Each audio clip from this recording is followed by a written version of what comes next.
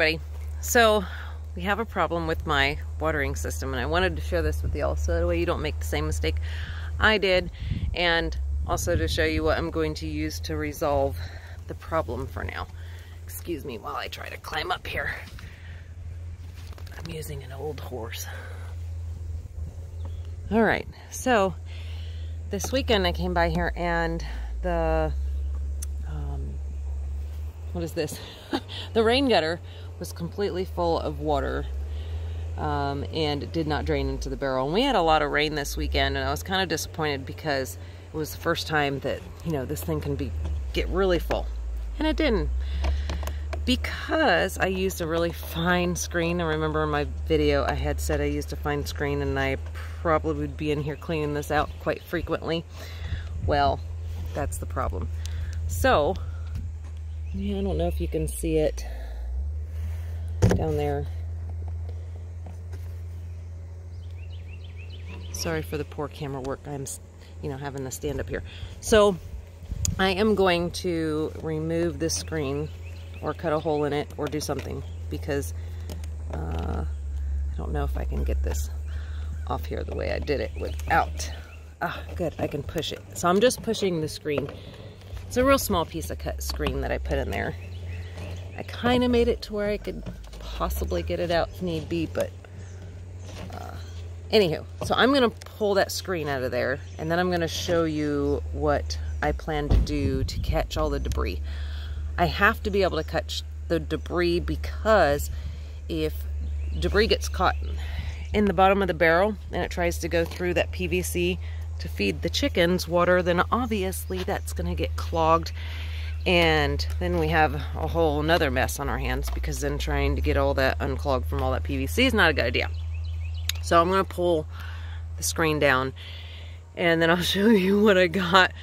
It's not a it's not a beautiful fix, but it's what I can think of for right now with what I have on hand. Um, yeah, so.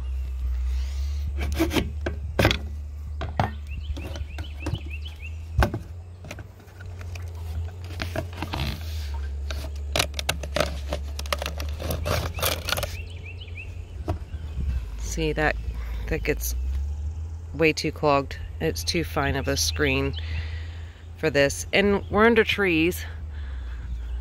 So all that stuff from the trees fall down in there. We'll, we'll probably trim the trees once we get out here, but for now, so my hole isn't too terribly big.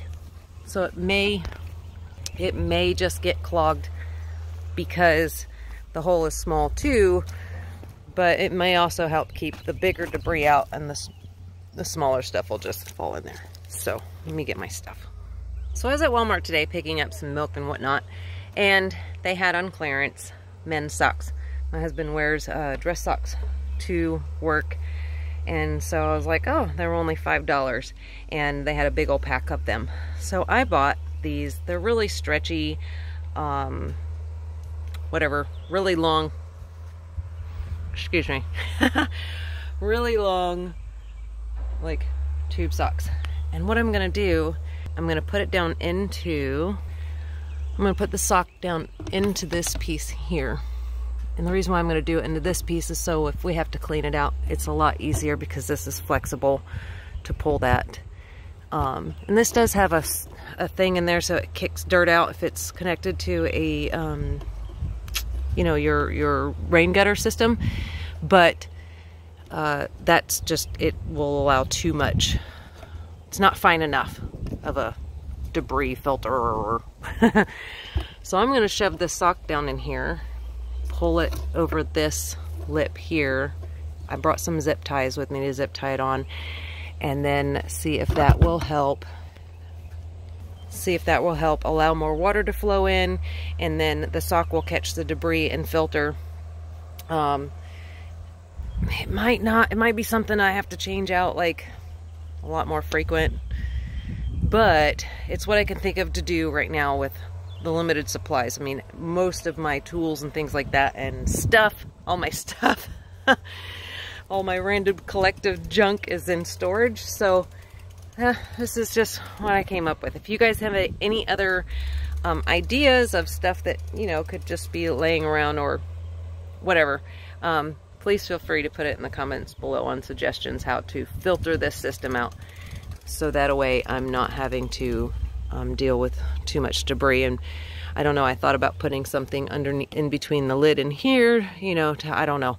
It's, it's one of those, you know, never done this before. So figuring it out as I go and sharing with you all the problems that I have with the system so that way you don't make the same mistake I do.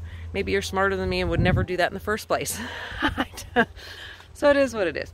I'm going to get this on here and then I'll show you exactly how it's fitted. So I don't think I have to zip tie it because that doesn't just fall directly down in there that that um, other uh, you know garbage catcher thing it prevents the sock from falling all the way down to the tube. So I don't think I'm gonna need to put zip ties around here to hold this on. Um, I'm just gonna not do it for now and then we'll see how this works out uh, before I make it too difficult to remove I guess. Hopefully we'll get some rain here in the next couple of days uh, to test this out. All I gotta do is put a hole in the sock so I can put my pen back in here which holds this which holds this to that so the wind or whatever else doesn't you know because this is adjustable so. Anywho that is my fix for now and obviously I'll keep y'all updated on how that works out for us. Hopefully hopefully it works out and I won't have to clean it as much as I think. Um, everyone's asking if we're in our house yet. No we are not in our house yet. Uh, I could spend hours talking about why we're not in our house yet. Uh, I'm just going to say this. It's been a complete clown show. And I, um, I don't know when we're going to be in. We've been told eight different dates and all of them have come and gone. So when we're going to be in our house, that is a whole nother, a whole nother video that will probably be several minutes long and it is what it is. So just keep keep us in your prayers. We are uh, struggling with this builder and the process of all of that. Um, anyway, I pray that y'all are blessed and hopefully this sock situation fixes our issue. Take care and God bless.